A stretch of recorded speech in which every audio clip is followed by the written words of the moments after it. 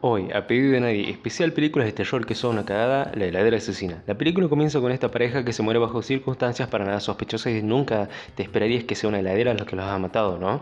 Bueno, no se preocupen más por esta pareja porque no vamos a volver a saber nunca más de ellos, porque los verdaderos protagonistas de esta historia son Steve y Eileen. Ellos son una pareja que van y se mudan a un departamento, el cual es alquilado por este gordo, y aquí es donde abro un paréntesis. El gordo sabe que hay actividad paranormal en la casa, pero se hace el tremendo pelotudo y se pretende quedar con la plata del alquiler, o sea, un tremendo garca el gordo. Cierro paréntesis. La cosa, y como ya se imaginarán, viene con esta heladera totalmente endemoniada y gratis y lista para que lo utilices. Y encima te abre las puertas del infierno. Buenísimo. Vemos después al típico personaje que le dice de aquí, lo digo por tu bien, pero después no interviene nunca más y no hace nada como para salvar al resto de los personajes. Volviendo al tema, Steve pega al laburo y Aileen comienza a buscarlo. Después la heladera va y comienza a provocarle alucinaciones a Steve, como por ejemplo esta, donde ve a su jefe en la heladera. Pero quien más tiene alucinaciones es Aileen, quien cada tanto flashea cosas con su madre, que parece que amenazaba con matarse cuando era chica, pero bueno, en la película no te lo explica por qué o qué o por qué pasaba esto, simplemente te lo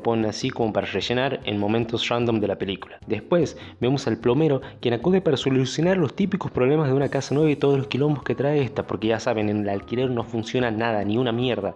Pero bueno, después vemos que en realidad va y lo deja al ayudante ahí y después se va. Un, capo el plomero. Después la cosa se pone aún más rara cuando Aileen abre la heladera y flashea un montón de cosas más como las siguientes. ¿Están ahí mis vidas? ¿Están ahí? ¿Me oyen? ¿Me escuchan? Hola pinche putita.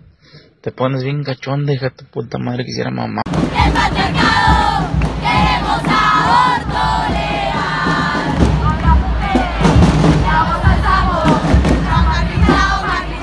La verdad no entiendo por qué no se van del alquiler, no les costaba nada más. Escenas más adelante, cae la madre de Eileen a la casa, pero al rato la heladera va y la mata y no nos llegan a explicar por qué ella la tromó tanto desde su infancia. Después el plomero va y dice que él sabía que pasaban cosas raras en el alquiler y que la gente desaparecía. Claro, campeón, por eso has dejado ir a tu ayudante porque sabías que nunca le iba a pasar nada, ¿no?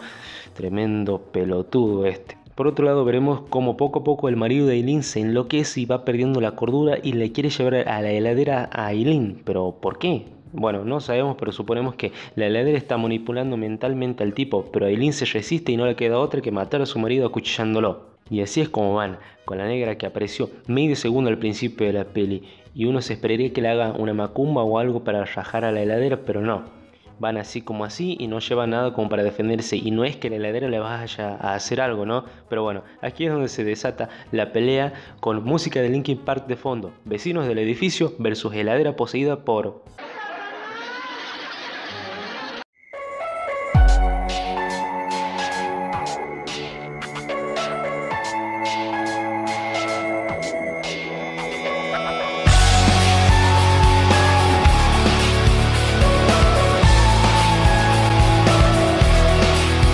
La cosa termina con Eileen y el fontanero sobreviviendo al ataque de la heladera asesina. Cualquier parecido con Mario Bros es pura coincidencia.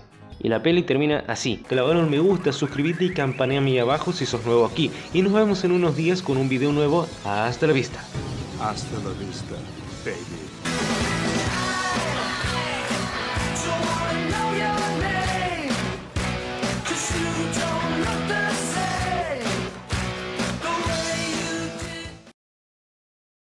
Ah, y al final Aileen y el plomero se vuelven bailarines. Fin. Desde que he visto esta película me da miedo levantarme a la madrugada, abrir la heladera y tomar agua. Y sé que a vos también.